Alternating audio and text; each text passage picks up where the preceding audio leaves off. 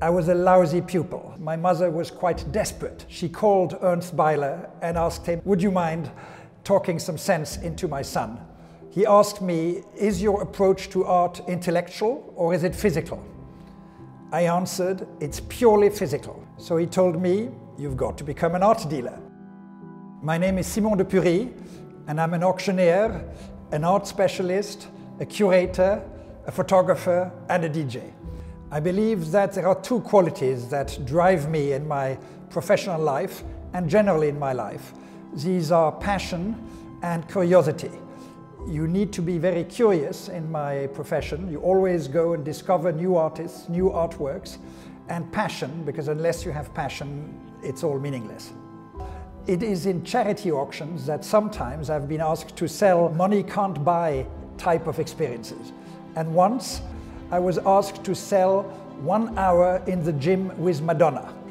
There was fierce bidding going on. In the end, that very generous gesture of Madonna paid off beautifully and obtained 3 million euros.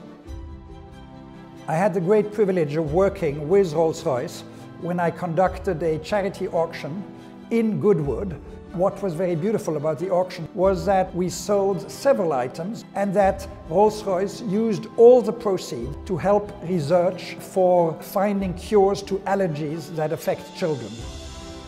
Every now and then when you conduct an auction, everything falls into place. And that night, everything fell into place for a very good cause.